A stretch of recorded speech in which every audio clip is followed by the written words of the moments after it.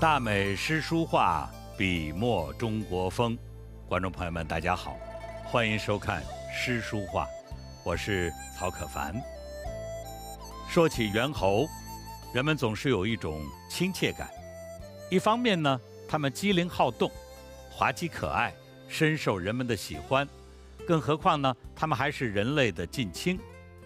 但是很多观众或许不知道，我们经常随口说的猿猴。其实啊，是两种不同的动物。跟猴比起来呢，猿的体型更大，手臂更长，而且呢没有尾巴，没有口腔两侧的颊囊和屁股上的胼胝。从生物学的分类上来说呢，猿比猴要更高级。也就是说呢，在与人类的亲缘关系上，猿比猴要更近。在古典诗词中呢，猿也是最常被诗人提及的动物之一。那么要说其中最为人熟知的名篇，一定是李白的这首《早发白帝城》。《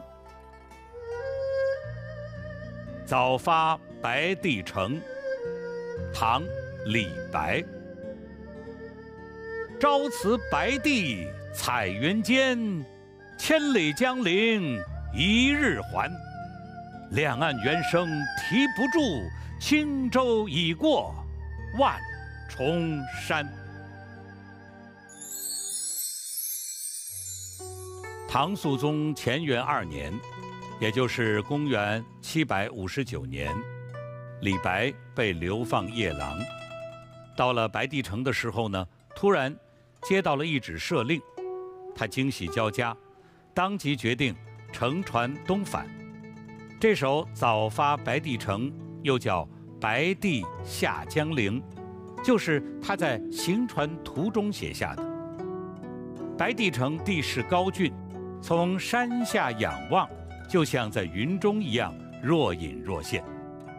早晨云霞变幻多彩，因此李白开头便说：“朝辞白帝彩云间。”第二句：“千里江陵一日还。”千里和一日，空间之远和时间之短形成了悬殊对比，而一个“还”字，不仅表现出一日千里的痛快，也透露出预设的喜悦。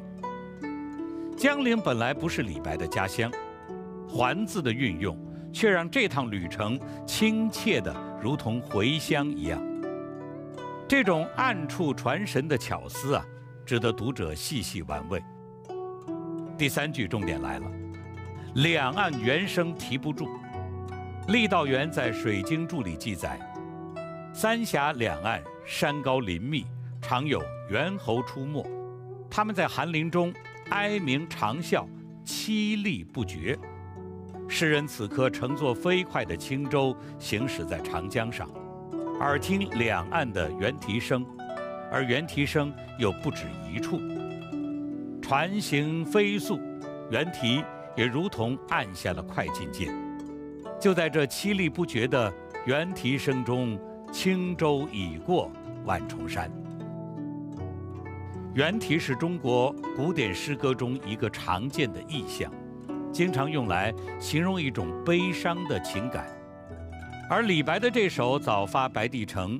却景音情变，用提不住的原声来烘托飞快的船速，把预设之后轻松畅快描写的淋漓尽致。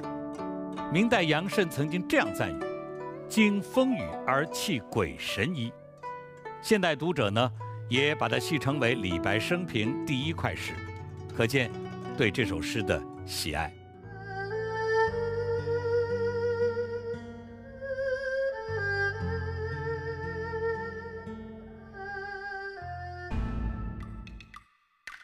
大美诗书画，笔墨中国风。猴画作为一种特殊的题材，也在上千年的中国美术史当中留下了一方独特的天地。说到历史上以画猴闻名于世的画家，首推北宋的易元吉。接下来呢，我们就欣赏一幅他的代表作《猴猫图》。画面的右侧。一只猕猴脖子上套着粗绳，被拴在桩上，但这似乎完全不能束缚它调皮的本性。两只小猫结伴路过，稍不留意，其中一只就被它抓了个正着，另一只猫呢，刚刚逃过一劫，看上去是一副惊魂未定的样子。它试着向猕猴示威，想让它放开自己的同伴，可是猕猴呢，却故意。高昂起头，紧抱着怀里瑟瑟发抖的小猫，一脸的洋洋得意。画家以纤细的线条画出了动物通身的毫毛，再用墨色和赭色进行晕染，使它们看起来毛发丰盈、纤毫毕现，展现了敏锐的观察和不俗的功力。整幅画虽然只是一个定格的瞬间，但通过对二猫一猴神情的。传神刻画，营造出了一种戏剧化的张力。伊元吉从小学画，尤其擅长花鸟。据说呢，当他看到另一位画家赵昌的花鸟画之后，却一下子惊呆了。他觉得自己再怎么用功，也不可能超越赵昌，于是决心另辟蹊径。宋代以前，画牛、画马都出过名家，他不愿意仿效别人。就改画人们涉足较少的猿猴。他经年累月去湖南、湖北的深山老林里写生，终于在猴画方面有了建树。